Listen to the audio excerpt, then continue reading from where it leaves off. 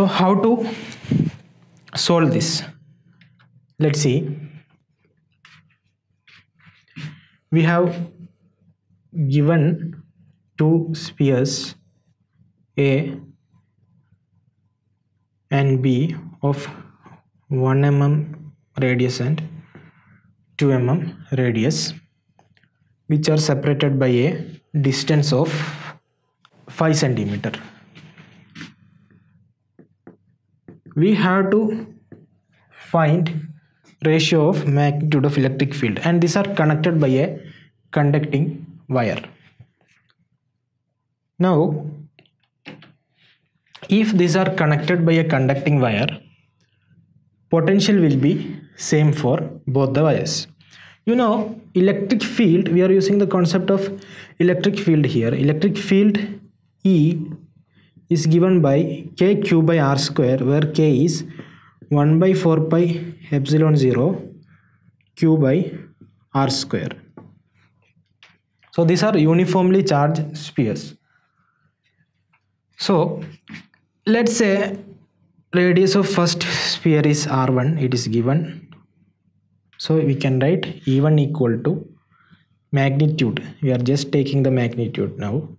e1 equal to 1 q by 4 pi epsilon 0 r1 square. You know that q potential is same here.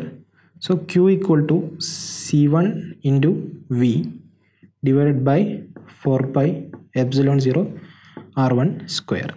For a spherical conductor or spherical shell capacitance is given by 4 pi epsilon 0 into radius into v divided by 4 pi epsilon 0 r1 square. So this will be v by r1 this is e1 similarly e2 equal to v by r2 so e1 by e2 will be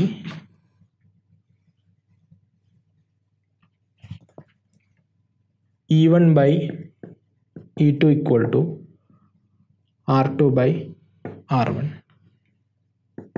r2 is given as 2 mm and r1 is given as 1 mm so answer will be 2 is to 1 and 2 is to 1 is our option D. So, right answer is D.